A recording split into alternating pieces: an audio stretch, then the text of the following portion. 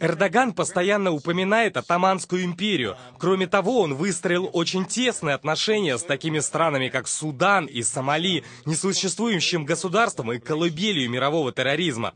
Эрдоган говорит об этих странах как о надежных партнерах в борьбе с терроризмом. Эти рассуждения принадлежат психически нездоровому человеку. У них прочные двусторонние отношения, политические, военные и торговые.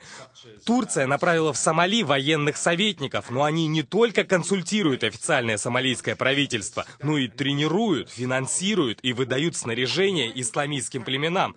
В Сомали очень серьезно представлена Аль-Каида. Многие из тех джихадистов, которые сейчас сражаются против сирийской армии Башара Асада, откуда они? Они приехали из Сомали. Их там тренировали турецкие военные консультанты. Как они попали в Сирию? Все очень просто. Само турецкое правительство обеспечило их приезд из Сомали в Турцию, перебросило их на юго-восток Турции, выдало им деньги и выдала им снаряжение.